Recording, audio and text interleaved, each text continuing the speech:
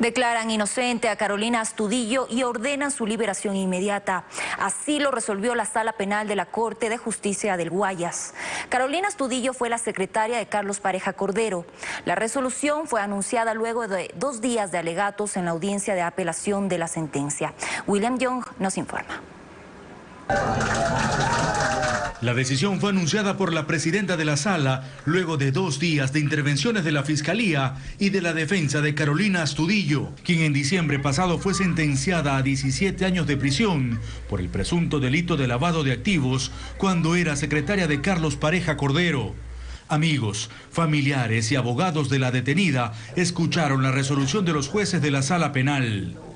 Su esposo Francisco Martínez dijo que ahora solo anhela volver a verla libre luego de 20 meses en la cárcel. Estaba muy asustado y solamente estábamos orando con mis hijos, esperando en Dios, pero con mucho temor.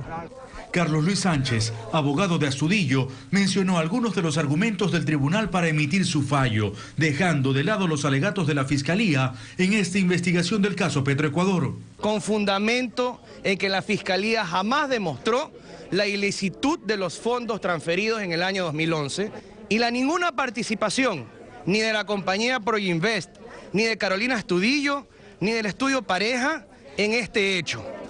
Al término de la audiencia, la delegada de la Fiscalía, Ivonne Proaño, salió escoltada por policías. Aunque prefería no dar declaraciones, lo hizo brevemente, pero sin explicar por qué sus exposiciones no convencieron a los jueces. Esperemos la sentencia debidamente motivada por la sala y Fiscalía conocerá cuál es la fundamentación en derecho que manifiesta la Corte en este momento. Gracias. Aunque Carolina Astudillo saldrá de la cárcel en las próximas horas, este proceso continúa contra una de las empresas vinculadas en esta causa por presunto lavado de activos.